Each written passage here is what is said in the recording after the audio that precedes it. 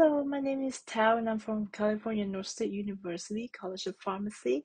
In this video, I'll be talking about Arnuity, which is a corticosteroid inhaler used in asthma patients.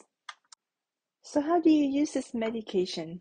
Arnuity is only required to be used once daily, so make sure to take it consistently at the same time each day to get the most benefit out of it. The, the medication comes in a plastic tray with a foil lid. Take the medication out of the box by peeling off the lid and throw the lid and the desiccant to regular trash. After the tray is opened, the inhaler can be stored at room temperature for six weeks. It's important to remember not to open the mouthpiece until you are ready to administer the medication, as it may result in a loss of a dose. Avoid shaking and dropping the inhaler, um, which can lead to the damage of the inhaler. And avoid blocking the air vent on the inhaler while using the product. And it's very important to remember to always rinse your mouth after you administer the medication to avoid fungal infection of the mouth or throat, otherwise commonly known as thrush. When you're ready to administer the medication, open the cover of the inhaler until you hear a click and then the dose counter will count down by one. If you close the lid without administering the medication, you will lose the dose. However, the next time you open the medication again to administer the medication, you will not be able to inhale two doses at a time. The unused medication that was not previously administered will still be held in the inhaler, but it can no longer be used. Put the mouthpiece between your lips and take one long and steady deep breath through your mouth. Then remove the inhaler from your mouth and hold your breath for about 3 to 4 seconds or as long as you're comfortable. You may not taste the medication, but the dose has been administered even if you do not feel or taste it. However, if you notice that the counter is not counting down, then contact your pharmacist to have it replaced.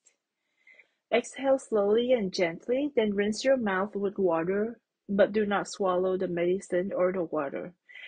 Contact your pharmacy when you have fewer than 10 doses remaining, or the counter shows red for more refills. Arnuity Ellipta is uh, a brand for fluticasone furoate inhalation powder. It is an inhaled corticosteroid or ICS. Um, Ellipta is indicated to use as a maintenance treatment of asthma as prophylactic therapy for patients five years and older. It, it is available in three strengths, uh, the 50 microgram, 100 microgram, and 200 micrograms. Some advantages to taking this medication includes safety and efficacy, which has been proven in various studies. Uh, it can improve lung functions in patients with chronic lung conditions. It is easy to use and requires little coordination, and the patient cannot take a double dose by mistake. Some disadvantages when it comes to taking this medication is that patient is at an increased risk of mouth or throat infection due to prolonged steroid use um, through inhalation route. It requires deep inhalation, which may be a challenge to some patients with chronic lung conditions, and it is quite expensive as a product. So how does fluticasone work in your body? The fluticasone furoate is a synthetic trifluorinated corticosteroid that reduces inflammation by producing potent vasoconstriction and anti-inflammatory activity local via oral inhalation. It inhibits uh, inflammatory events such as vasodilation, vascular permeability, and it increases beta-2 receptors on airway muscle and decreases mucus gland secretion. For adults and adolescents 12 years and older who have not been on an inhaled corticosteroid previously, um, these patients can be started at 100 microgram daily. And if they are not responding to that dose after two weeks, then we can increase to 200 microgram daily. For children 5 to 11 years old, um, only the 50 microgram strength is approved for the treatment of asthma. Arnuity is contraindicated to be used as primary treatment of status asthmaticus or other acute episodes of asthma where intensive measures are required. It is also contraindicated to be used in patients with severe hypersensitivity to milk proteins and or those patients who have demonstrated hypersensitivity to fluticasone, furoate, or any of the excipients.